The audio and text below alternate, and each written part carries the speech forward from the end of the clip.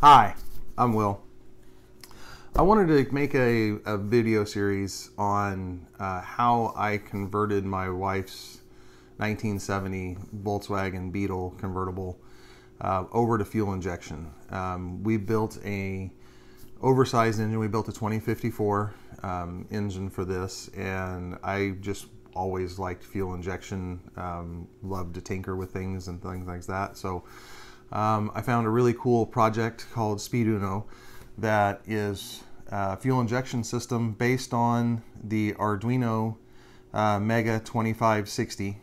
Um, really pretty simple board. They're all over the place. Um, lots of documentation on the board and things like that out there. But to be able to run fuel injection from something so simple seemed exciting to me. So um, from there, I uh, found a board. Um, this is basically like a daughter board that plugs in to the um, Mega that gives you all the connections to the rest of the system.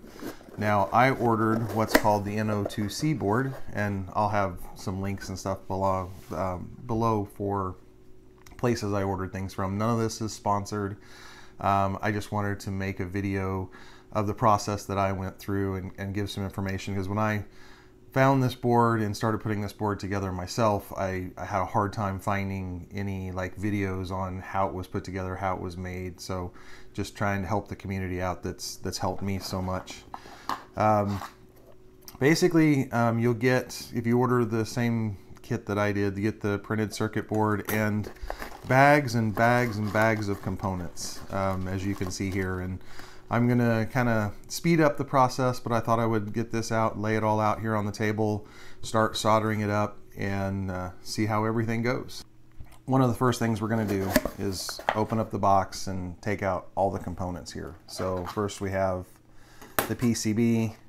They sent us some stickers to put on. Um, I'm just gonna kind of dump this out here. So we've got a lot of stuff going on here. So everything is in individual bags and labeled. It's really nice. So, you know, this gives us that this is the resistor network and it's in RN5 and RN2. So for all of these little packages, as you look on the board, there's going to be different places that are labeled and they'll be labeled with say RN5, RN2, and that's where each of these little bags of components goes. So I'm ashamed to admit it, the first time I got one of these, I spent a lot of time trying to figure things out before I realized that, hey, it's right there on the package. So, um, lots and lots of materials here. So I'm not going to go through each individual bag and where each one goes, but I thought I would maybe just do some overall steps of putting some of this stuff together. So um, I'm going to separate this stuff out, find, um, I found it best putting the, the smaller components, the components that are more flat to the board on first. So small resistors, diodes, things that are going to be really flat to the board. That's step one. You can put them through the board, flip it over, solder the back side, snip the extra leads off, flip it back over, put the next ones in. If you put in the really tall components first, then there's not a good way to hold some of the smaller components on the other side um, after you've got those tall ones in. So that's my process. Okay, so now I've kind of broken this all up. Um, I basically have resistors and diodes in this pile over here. I have capacitors, LEDs, resistor trees over here, or resistor networks, and then some of the ICs and the driver components over here. So I'm going to start with um, I found bag R1246. And here on the board, we have R1426. So these four resistors are going to go right here on this section of the board. So let's just do that.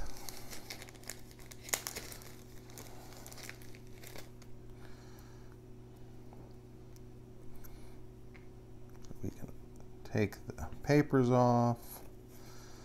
Resistors don't care polarity wise, so we just install them. I try to make them nice and centered that I can. And then I fold the backside over a bit just to hold them in place. We'll go ahead and install all four of these guys.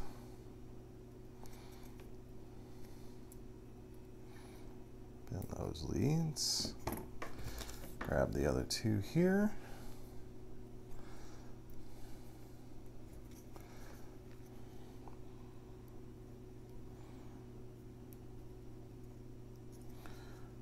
that in.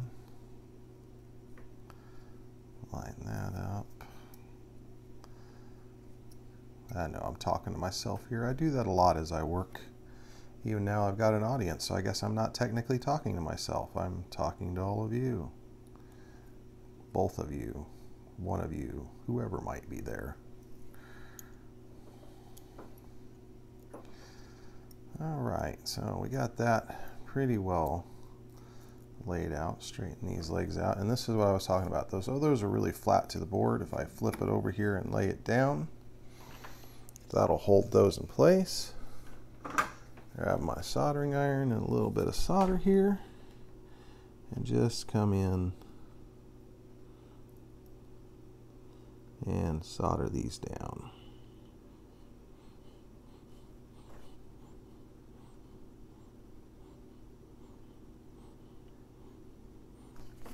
And that's it. And then we'll come back in here with some nice flush edge snips and snip off all these tails. And that's the first four. Then we repeat that process for the rest of the components that are laying here. Now that I have most all of the resistors installed, we're going to get to some other components, the diodes. Now, one of the clear things with diodes, they only allow flow one way, so these are going to matter which way that they're installed. Um, so the this is D1 and D2. So we're going to find D1 and D2 on the board.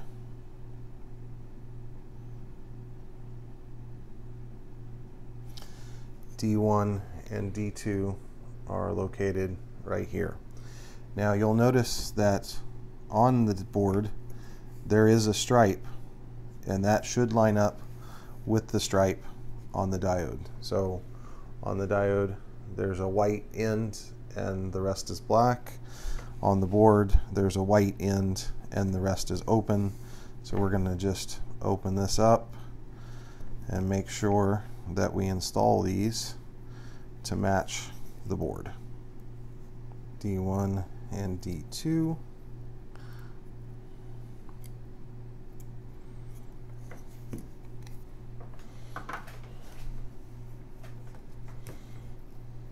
And we'll solder these into place.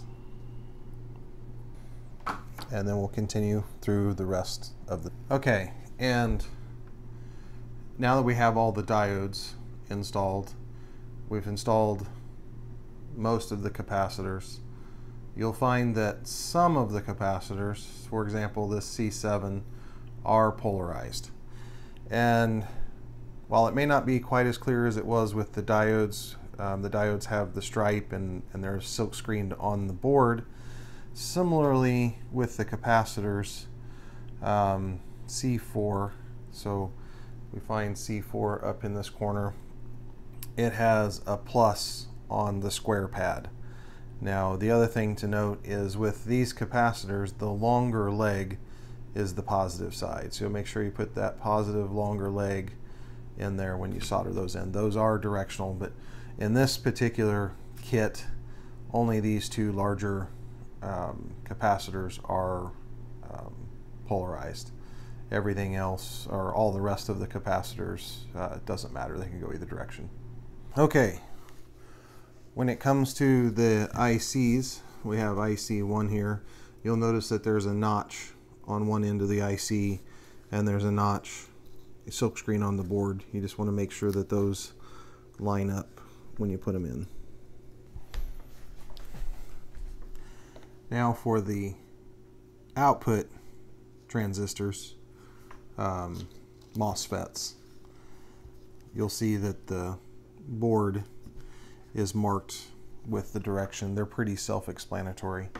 The heatsink drawing and we'll just install these six. Okay, so that's the bulk of the assembly. Um, we have all the components now soldered to the board. Um, I didn't film the header pins. They're just solder the header pins in place. Um, solder the mass the uh, map sensor on manifold absolute pressure. Um, and that's about it. So to complete it, it's like I said in the beginning, it's a, a daughter board that plugs into an Arduino. So take the Arduino, line up the pins, it plugs right together. Um, another couple accessories that my installation is going to need. So I have a dual signal converter because I'm, I'm going to be using a, a, variable reluctance type crank trigger. So you can purchase these on the same site as the NO2C board. It uh, will plug in directly to this pin header here. And then the other thing that I'm going to be using is uh, a stepper motor control for idle. And so I got the stepper driver here. It plugs in to this pin header. And that's pretty much the completed board. Now I still have to wire this connector. So in the center of the board, there's a connector. And I purchased through um, Amazon some of these uh, weatherproof connectors. And I pulled a 3D printed case from Thingiverse uh, made a little bit of a design modification made it a little bit longer added a, a slot here in the end for the connector to slide into. The board will fit right in there. So I just need to pin those two together and we'll have the, the ECU done and we'll be able to move on to some of the other parts.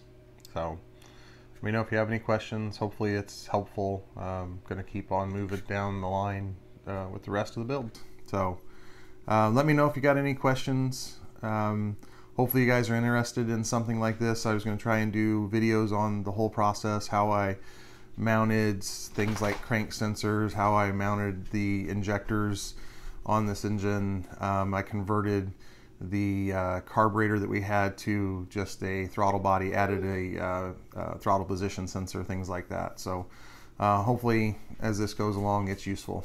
Thanks.